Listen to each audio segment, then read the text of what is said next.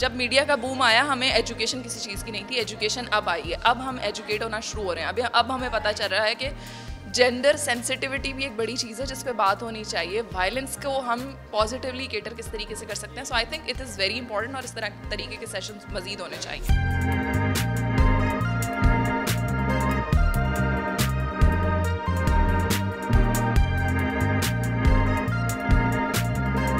बड़ी शानदार वर्कशॉप थी आज की, जो है ना हमने बहुत कुछ सीखा।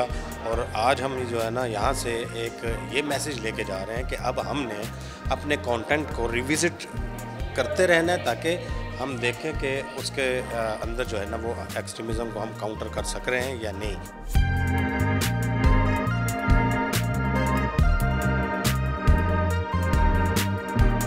राहें खुली मेरे जहन चल रहा था उस वक्त कि क्या कुछ पॉजिटिव मेन स्ट्रीम मीडिया पे मैं ला सकती हूँ। सोशल मीडिया से मेरा ताल्लुक है। तो मैं सोशल मीडिया पे क्या कुछ कर सकती हूँ पॉजिटिव रिपोर्टिंग के हवाले से। तो इट विल वर्क मुझे लगता है कि ये काम करेगा हमारे, हमें कुछ ना कुछ हम पॉजिटिव दे पाएँगे सोसाइटी को।